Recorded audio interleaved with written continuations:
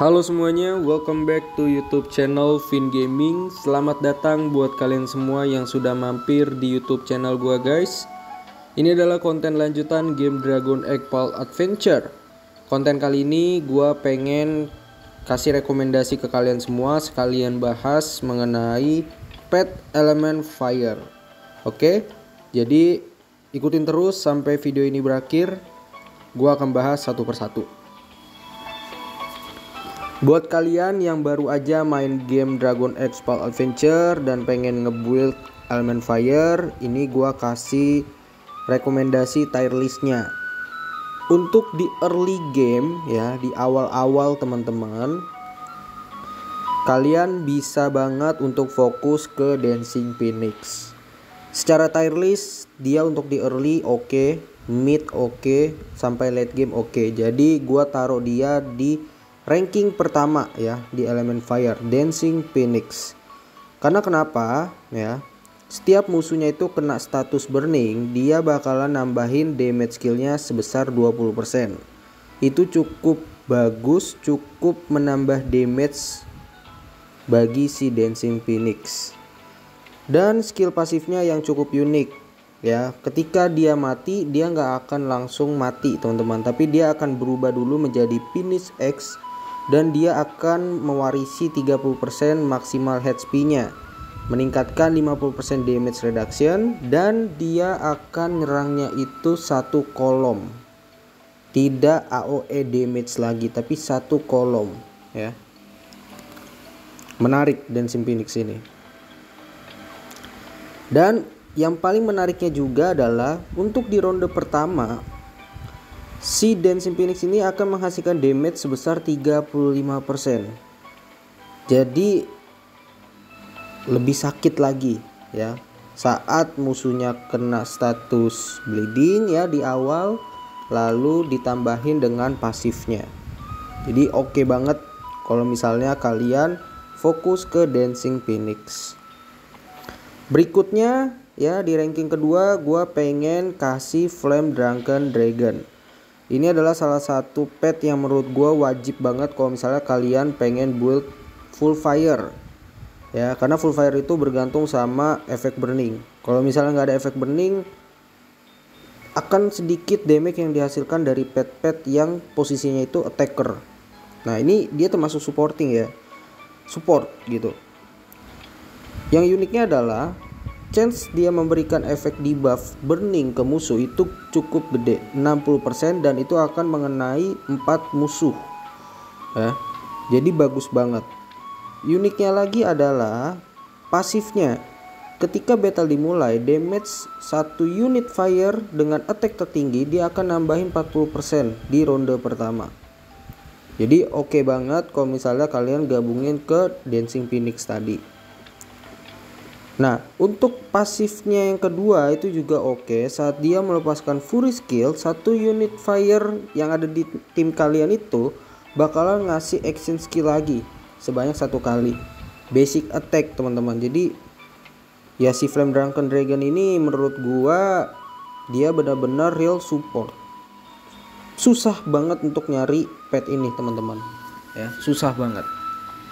Lanjut untuk di ranking ketiga gue bakal kasih Boom Cloud Dragon. Boom Cloud Dragon ini bener-bener nyusahin menurut gue.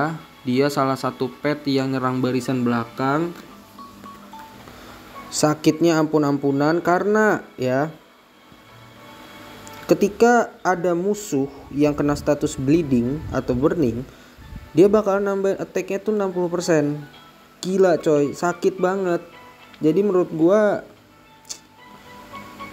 apa ya menurut gua dia emang kayak cuman bersih bersih aja gitu. Dan yang pasifnya lagi yang menurut gua nggak masuk akal. Ketika di rekan tim kita udah tiga nih yang mokat dia bakalan dapet status Pyro Blast critical damage nambah 20% imun control. Jadi menurut gua sangat-sangat sustain ketika dia sudah memasuki pasif ini gitu. Untuk Bumplow Dragon. Oke lanjut. Untuk di ranking keempat yang wajib kalian build kalau misalnya kalian pengen full fire yaitu adalah lava pangolin ya. Lava pangolin ini tipe controller ya. Yang menurut gua dia layak untuk di build karena kenapa? Dia bakal ngasih efek burning dia bakal ngasih efek status stun ya. Dan itu jadi combo wombo. Kalau lu ada efek burn kemungkinan chance ngasih stun lebih tinggi. Tapi kalau misalnya nggak ada efek burn lava pangolin ya cuma jadi pajangan aja di tim kalian. Jadi lava pangolin bergantung sama efek burning. Ya. Kalau nggak ada efek burning dari pet lain lava pangolin weak banget menurut gua. Sesimpel itu untuk di lava pangolin. Jadi dia di ranking 4 ranking kelima menurut gua ya itu adalah lava armor dragon. Ini salah satu job defender tanker ya. Dia bisa ngasih uh, efek burning dengan chance 65% ketiga musuh di baris depan ya. Jadi ini kalau misalnya di combo sama boom claw eh sorry bukan boom claw tapi di combo sama dancing phoenix ini pasti udah GG banget kedua pasifnya yang menurut gua juga oke okay banget. Saat full skillnya menambahkan efek burn ke target, dia tuh bakalan ngasih efek tambahan yaitu ngurangin 10% defense target selama 2 ronde. Dan itu bisa ditumpuk jadi 20% defense target itu berkurang. Wow ini gokil si lava armor dragon. Udah ngasih efek burning eh, ngurangin efek armor break lalu di pasifnya juga ketika musuhnya itu kena burning dia bakalan nerima damage berkurang sebesar 30% lava armor dragon layak untuk kalian buat sebagai tanker ya. Oke, jadi untuk yang ranking satu tadi udah Dancing Phoenix, kedua ada Flame Drunken Dragon, ketiga ada Bull Claw, keempat adalah Lava Pangolin, kelima ada Lava Armor Dragon, yang keenam menurut gua ini opsional, kalian bisa pakai salah satunya, nggak harus dua-duanya masukin ke dalam satu tim. Itu ada Flame Dragon Welker atau Fire Serpent Shaman. Nah, ini adalah dua pet dengan job berbeda. Satunya fighter satunya match dua-dua hero dua-dua pet ini itu bergantung sama banyaknya burning yang diterima oleh musuh. Flame Dragon Walker pada intinya kalau lu nggak ada status musuh di status bleeding pada musuh damage-nya B aja. Karena dia bergantung banget ada efek burning damage-nya nambah 50% Fire Serpent Shaman dia core-nya. Dia tuh ibarat F uh, apa ya? Efek sempurna bukan sempurna apa ya bahasanya? Uh, awakeningnya dari Flame Dragon Walker. Karena kenapa? Pasifnya kalau misal kalian bawa full fire dia bakal nambahin 18% damage. Itu udah paling maksimal. Kedua kalau udah ada efek burning di musuh dia bakal nambah 50% lagi. Sedangkan kalau misalnya di Fire Dragon Walker pasifnya itu kalau misalnya dia mati nih teman-teman di tim kita dia cuma nambah damage 30% tapi dari temannya mati bukan teman-teman yang hidup. Sedangkan kalau misalnya si Fire Salesman ini ya teman yang hidup atau teman yang mati itu di udah udah masuk hitungan ke pasifnya dia. Gitu guys. Ya jadi menurut gue yang keenam itu antara salah satu dari dua pet tersebut lah. Gitu. Rank ketujuh rank ketujuh menurut gua ada dancing cinilia ini ya healer ngasih absorb damage. Ya jadi selayaknya healer. Gua nggak mau bahas itu lebih lanjut. Yang kedelapan ini ada running violent dragon. Kenapa rank kenapa legend gua kasih rank 8 pertama running violent dragon tuh sebenarnya top tier banget tapi susah untuk dicari ya karena posisi dia itu bisa diganti dengan Flame Drunken Dragon. Menurut gua bisa diganti banget sama Flame Drunken Dragon atau bisa diganti banget sama Lava Armor Dragon. Jadi kalian gak harus kayak maksa fokus ke Running Violent Dragon. Ya, karena ada dua opsi itu untuk ngegantiin jobnya dia. Ya. Begitu juga dengan Raging Bull. Raging Bull ini legenda yang menurut gua bagus tapi nggak tapi dia bisa digantiin cuy posisinya. Ada opsinya yaitu ya si lava armor dragon ya. Lava armor dragon kalian bisa jadi dancing phoenix depan buat ngegantiin jobnya si Raging Bull. Jadi Raging Bull ini menurut gua top tier tapi ada alternatif lain untuk ngegantiin job dan posisi dia. Gitu teman-teman jadi sesimpel itu aja ya buat gua untuk membahas ranking dari Element Fire. Kalau untuk di line upnya gue mungkin bisa kasih kalian seperti ini. Ya gue sengaja masukin si apa namanya Running Violent Dragon. Itu untuk nyalain pasifnya si Boom Claw karena kan dia masih B1 jadi kemungkinan dia bakalan mati lebih cepat. Lava pangolin gue taruh di sini karena gue memastikan si siapa namanya nih? Running Violent Dragonnya itu mati duluan dan dia memberikan efek burning. Jadi dia bisa ngasih efek stunnya chance nya lebih lebih besar gitu. Nah ini gue taruh di sini karena kenapa? Karena gue berharap dia menjadi tanker gitu ngelindungin si Cenilia ya seharusnya Cenilia bisa di sini ininya bisa di sini tapi gue nggak mau. Gue lebih pengen boom clawnya itu jalan dulu. Gitu. Yang di sini kena ketika dia kena efek mati ini misalnya mati ya dancingnya jadi telur dia bisa nyerang bagian sini. Nah sininya fokus di sini. Gitu. Nah ini seperti biasa dia bakal kenain di sini ya.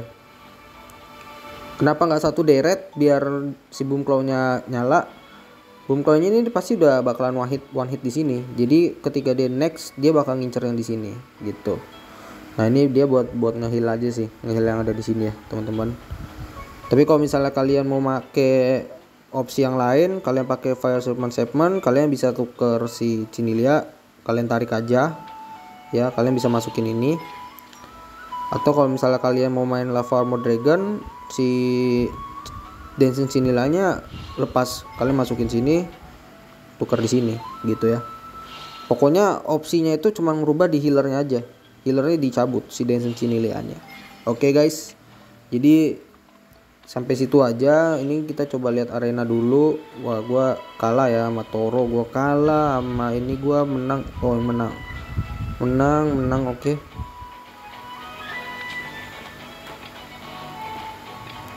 Uh ini gila ya coba ya kita kita tes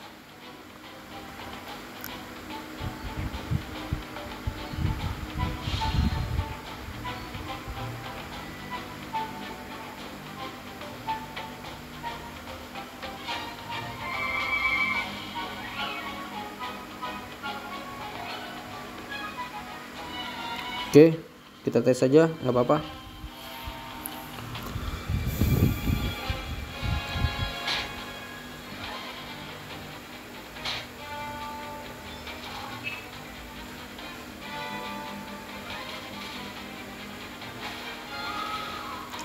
Kalian bisa lihat ya, itu dia efek burningnya jadi sakit banget kan.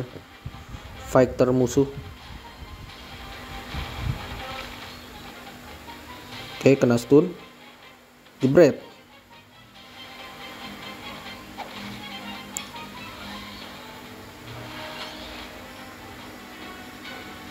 Hmm nice.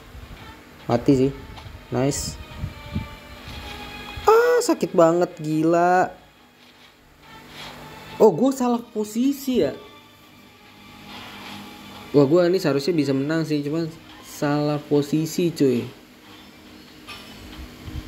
Iya ya gue gue gue kalah posisi sih. Lawan Kaji Kaji best banget gila. GG banget.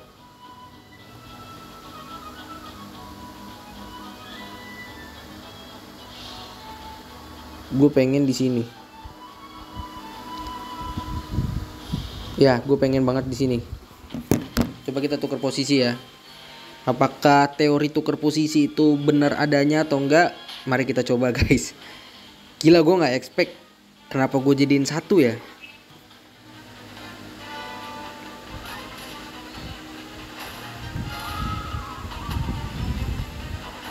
Oke okay, nice.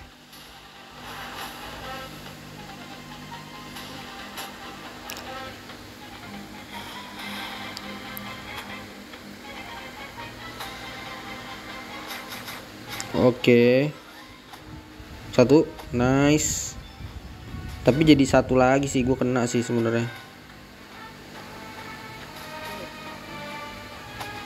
Oke nice.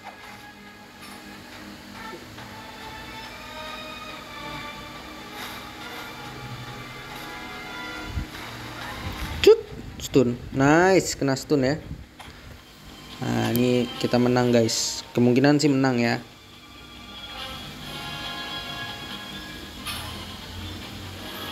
tadi gue salah posisi teman-teman.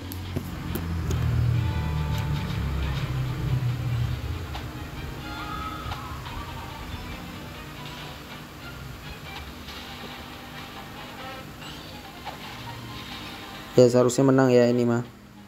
So thank you. Gitu aja untuk pembahasan mengenai elemen fire dari gua. Itu ada ranking ada apa namanya gua kasih rekomendasi line up juga next gua bakalan bahas di elemen lainnya ya tungguin aja teman-teman so thank you jangan lupa klik tombol like dan juga subscribe youtube channel gua supaya terus berkembang oke okay? dan gak ketinggalan dengan konten-konten selanjutnya Bye bye guys.